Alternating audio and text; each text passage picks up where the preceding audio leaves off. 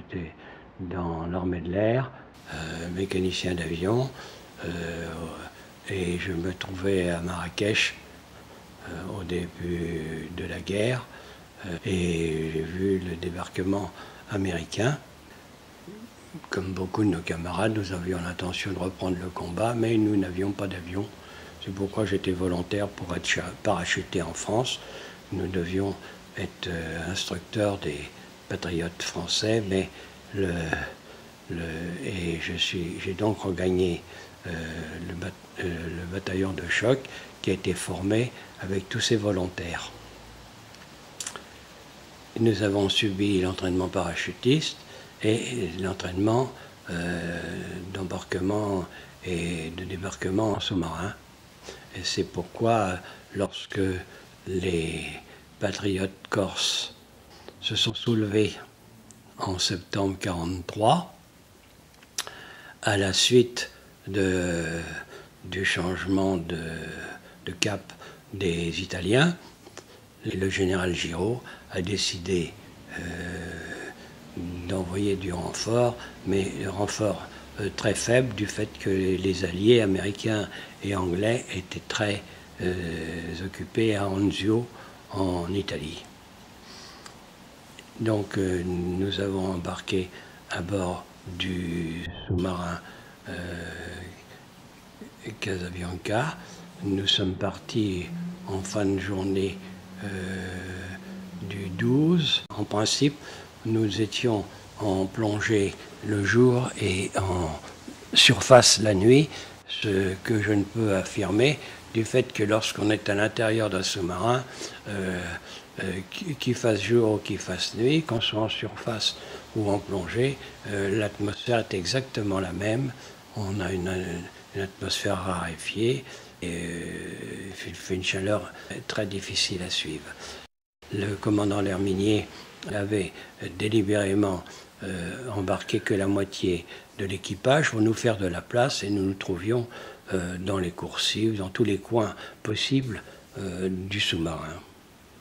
En principe, nous devions aborder dans le maquis, mais au cours de, de traversée, le commandant L'Herminier a appris que les Allemands avaient abandonné Ajaccio. Il a décidé euh, malgré d'éventuelles mines, d'aborder directement dans, dans le port. Nous sommes préparés à sortir euh, et convaincus qu'il n'y aurait pas à combattre, puisqu'on nous avait dit que les Allemands avaient abandonné la ville, qu'elle n'a pas été notre étonnement de constater que ça tiraillait dans tous les coins et que les, à l'horizon, sur les collines avoisinantes d'Ajaccio, étaient en flammes. Donc branle-bas de combat, mais mais ce n'était que la joie des Ajacciens, la joie des Corses de voir arriver les renforts et ils tiraient partout euh, pour manifester leur joie. Nous sommes donc euh, restés à Ajaccio et nos camarades, euh, le reste du, bataillon de choc est arrivé le lendemain en, en renfort mais nous n'avons pas combattu, nous avons simplement occupé les points stratégiques de la ville les, et, et ce pendant huit jours, euh, une huitaine de jours, euh, en attendant que d'autres renforts arrivent. Mais personnellement, ma section a été désignée pour effectuer une patrouille dans le sud de la Corse vers Porto Vecchio et euh, moitié en, camion italien réquisitionné, euh, moitié à pied dans le maquis. Nous sommes arrivés à Conca, un petit village à côté de Porto Vecchio. Le lieutenant Jacobsen, commandant la section, a su que les Allemands avaient évacué la Sardaigne et que tous les jours des milliers d'Allemands euh, rejoignaient Bastia pour euh, repartir sur l'île d'Elbe et sur vers l'Italie. Il a donc décidé de faire une attaque de convoi. Nous, euh, avons à ce moment-là effectué cette attaque et nous avons détruit cinq camions remplis d'Allemands et nous nous sommes repliés sur le village de Konka. cette attaque étant eu lieu en, grâce aux, guides, guides corses qui nous ont bien aidés lorsque nous sommes retrouvés, nous sommes retrouvés dans le village de Konka et à ce moment-là, nous avons été, euh, enfin la journée d'après, nous avons été attaqués par des Allemands qui, heureusement, le pont euh, de Sainte-Lucie de Porto Vecchio ayant sauté, euh, n'ont pu venir qu'à pied. Ce qui fait que nous avons pu, le bataillon de choc, la section du bataillon de choc de front et les, les patriotes sur les collines euh, avoisinantes euh, les, les, Allemands qui venaient en représailles et évitaient donc à Conca de subir le sort d'Oradour. Malheureusement, nous avons eu à perdre, à déplorer la perte euh, au cours de cette attaque de euh, trois hommes, le,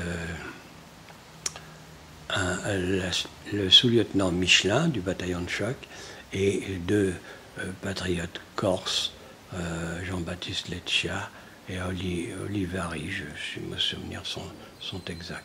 Sont, je, les Allemands devant cette résistance s'étaient repliés et le, lendemain, on a su qu'il ne passait plus personne sur, sur la côte orientale. Et pendant ce temps-là, mes camarades, les autres sections du, bataillon de choc avaient lancé des, des attaques de convois, des attaques de, de postes de commandement, des attaques d'aérodromes sur toute la côte orientale, euh, jusqu'à ce que les, les, Allemands s'aperçoivent que nous n'étions quand même qu'une poignée d'hommes et lance une contre-offensive euh, à partir de Bastia, mais à ce moment-là, ils ont eu fort à faire parce que, entre-temps, avaient débarqué des renforts, euh, les tabors marocains et les tirailleurs marocains euh, qui ont pu arrêter ces Allemands au col du Tegim et les Allemands se sont définitivement repliés et ont abandonné euh, la Corse qui était donc libérée. On peut un peu insister sur l'arrivée à Ajaccio, l'accueil, C'est invraisemblable de voir ces coups de feu tirés en l'air qui, qui nous avaient surpris, mais après la population euh, euh, nous témoignait toute leur amitié. Ça a été le prélude d'ailleurs parce que ultérieurement, quand nous avons libéré euh, des villes comme euh, euh, Dijon, Belfort, Colmar, nous avons retrouvé ce même, ce même accueil enthousiaste où les, jeunes femmes nous embrassaient, les enfants nous souriaient et toute la population manifestait leur joie. On sentait bien que c'était la fin d'un cauchemar.